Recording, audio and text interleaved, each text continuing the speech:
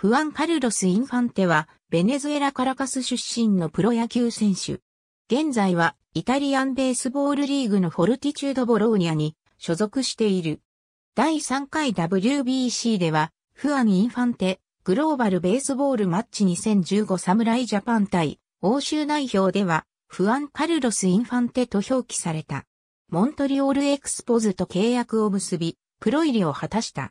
1999年はルーキー級、ガルフコーストリーグエクスポズで26試合に出場し、打率254、3打点だった。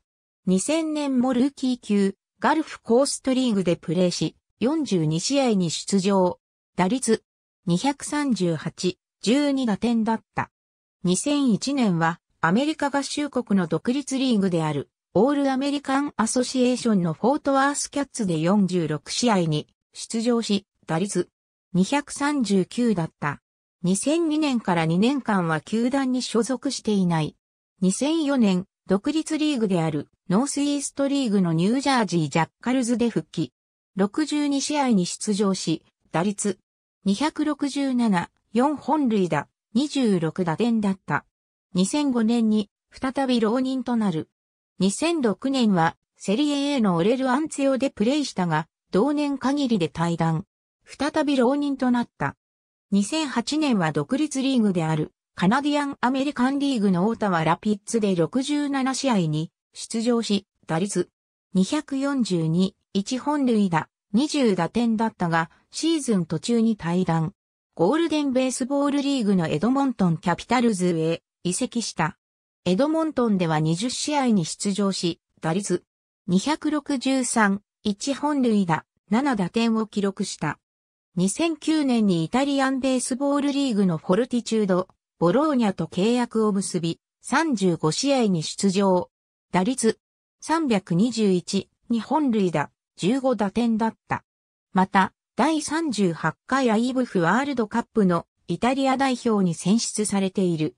2010年は42試合に出場し、打率327、2本塁打、28打点、51安打を記録した。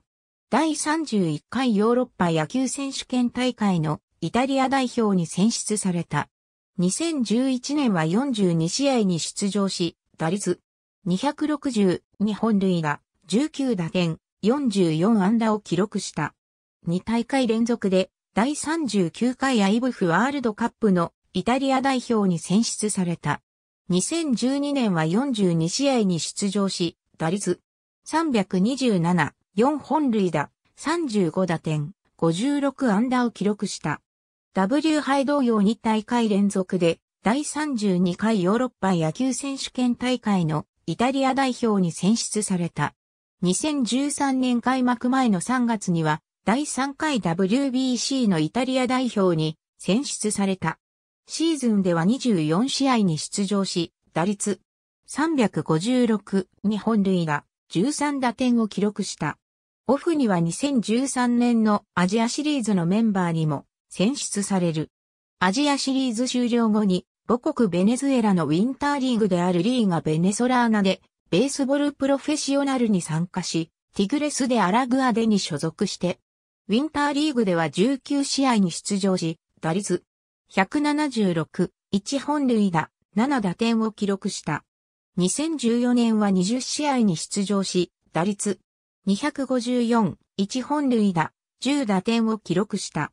9月1日には第33回ヨーロッパ野球選手権大会のイタリア代表に選出された。2015年2月17日に同僚のアレッサンドロ・バーリオと共にグローバルベースボールマッチ2015侍ジャパン対欧州代表の欧州代表に選出された。3月10日の第1戦に1番三塁手として先発出場している。3月11日の第2戦には途中出場している。オフの10月23日に第1回 WBSC プレミア12のイタリア代表選手28名に選出された。ありがとうございます。